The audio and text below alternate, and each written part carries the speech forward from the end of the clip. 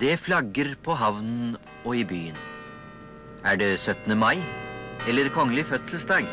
Nei, for Oslos borgere er det noe kanskje enda viktigere som skal skje. Det er kommunevalg.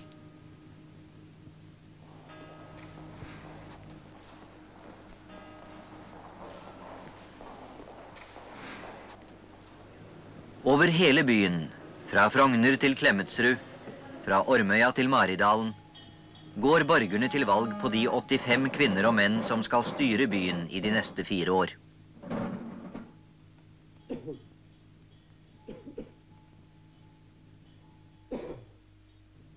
Av og blant disse 85 bystyremedlemmene blir så ordføreren valgt. Han velges for to år av gangen, og ordførerkjeden er hans uniform og tegnet på hans verdighet som byens fremste representant.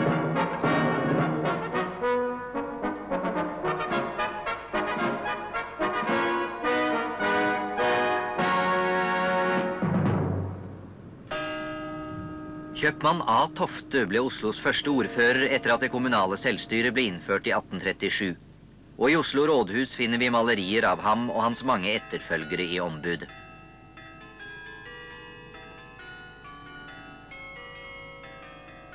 Mange ordførere er også blitt hedret ved at en gate har fått navn etter dem. Når vi reiser vårt rådhus, Oslo er det 1931. fremfor alt for at det skal bli et samlingssted for byens borgere. Et midtpunkt for det felles arbeid for byens trivsel og fremgang. Og så legger ordfører Adolf Indrebø ned grunnsteinen til det nye rådhuset. I 1950 blir så rådhuset høytidelig åpnet. Ordfører H.E. Stokke og andre kommunale ledere tar imot de kongelige. Det er gått nesten 20 år, men derav fem års okkupasjon.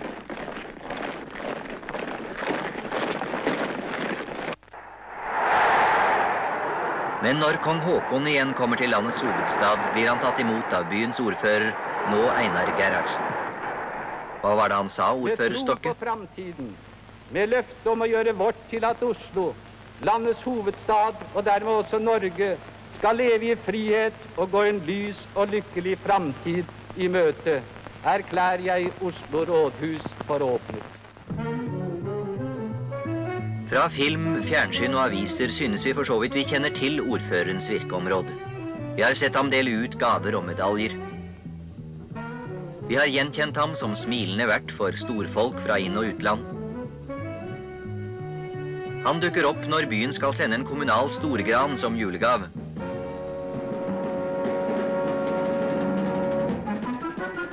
Han holder sine stadige taler og er hele tiden i rampe og blitslyset.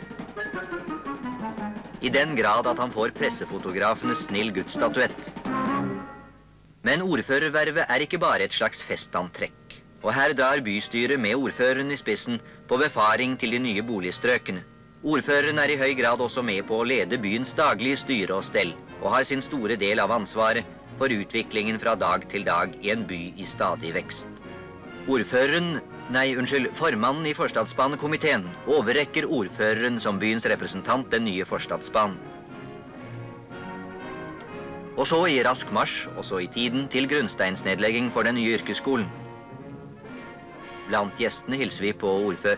Nei, unnskyld, varaordføreren. Ordføreren legger ned grunnsteinen og svinger murskjeen. Han må også ha sans for kunst og kultur. Heller ikke Oslo-borgere lever av brød alene. Og det må rause spadestikk til om det skal bli Munch-museum på Tøyenjordet. Selv om Edvard Munch har gitt oss innmaten gratis. Det hjelper godt at kinodriften er kommunal og går med overskudd.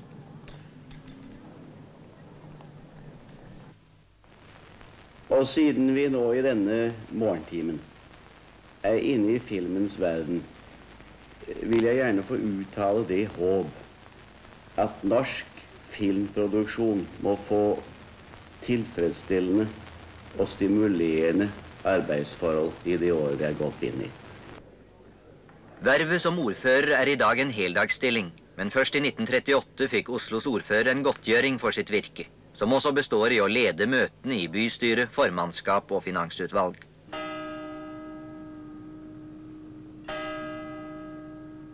La oss følge med på en ordførers dag.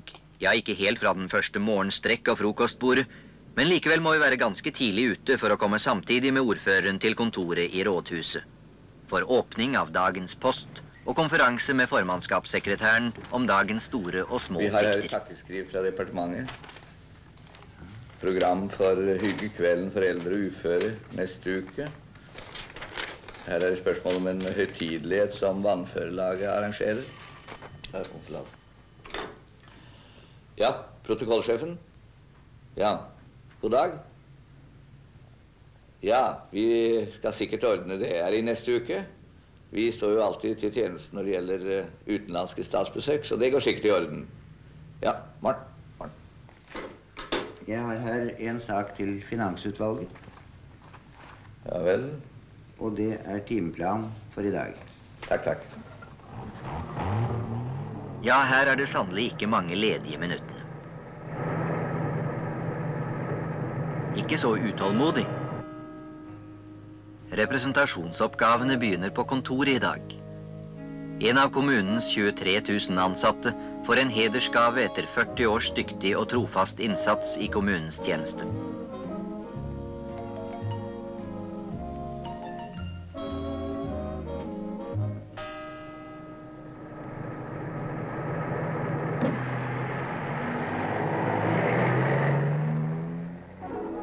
Selv i vår tid fins det noen igjen av de glade givere, og byen får også sine gaver.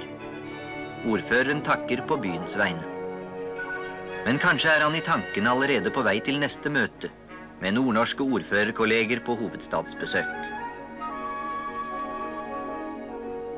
Felles problemer skal drøftes. Nytt besøk, nye mennesker, nye inntrykk. En komité skal legge opp en kampanje for de vannføre og ber om kommunens støtte. Ordføreren er enig. Dette er viktig. Jeg går derfor ut fra at det nødvendige kartmaterialet eh, medfølger når saken i sin tid eh, forelegges for eh, formannskap og bystyre. Hilsen. Ordføreren er også den person som i rettslig forstand binder kommunen og underskriver på kommunens vegne. Han tar stilling til hvordan sakene skal behandles, og skal sørge for at møtene i bystyre, formannskap og finansutvalg er skikkelig forberedt. Og han sitter som valgt formann eller medlem i en rekke styrer og komiteer. Blant andre havnestyret, sporveisstyret, styret i Obos, komiteen for finansiering og reising av konserthuset. Han har også rett til å være med på møter i alle kommunale styrer og råd, men uten stemmerett dersom han ikke er valgt medlem. Et viktig prinsipp for ordførerens virksomhet er at han ikke har besluttende myndighet, men skal sørge for at vedtak i formannskap og bystyre blir gjennomført.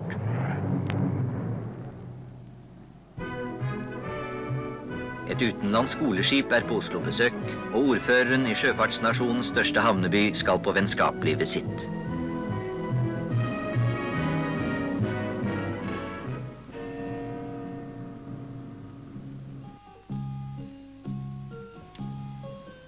Fra det å bli tatt imot til det å ta imot. Først en bokgave fra en etterkommer av byens første ordfører. Og så en kollega fra det nære Østen, borgermesteren i Haifa. Har de kanskje saknet dagens blomsterbukett?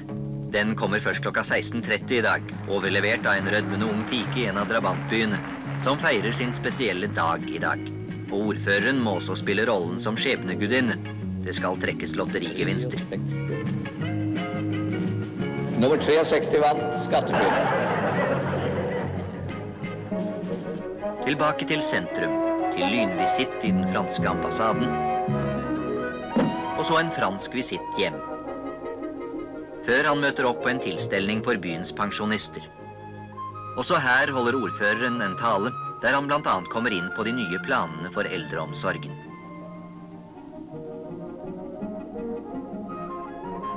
Men kvelden har enda en hovedrolle for ham. På med de ytre tegn på verdighet, en rask memorering av hovedpunkten i dagens fjerde tale, og så til byens storstue Rådhushallen, for å være med på jubileumsfest for en landsomfattende kristelig organisasjon.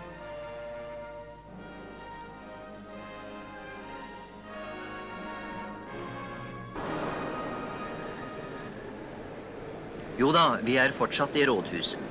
Men situasjonen er en helt annen. Fire år er gått. Igjen er det kommunevalg.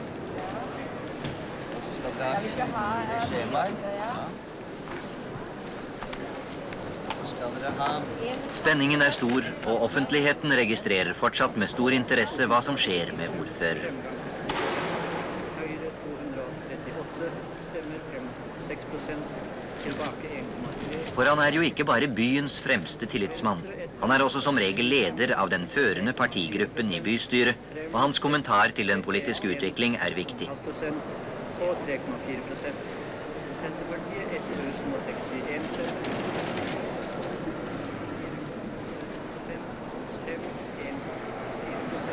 Og det er partienes stemmetall ved valget som avgjør bystyrets sammensetning, og dermed også hvem som skal bære ordførerkjeden i perioden som kommer. Hvem som skal lede styret av den byen som i sitt byvåpen har Sankt Halvard. Helgenen som beskytter de svake.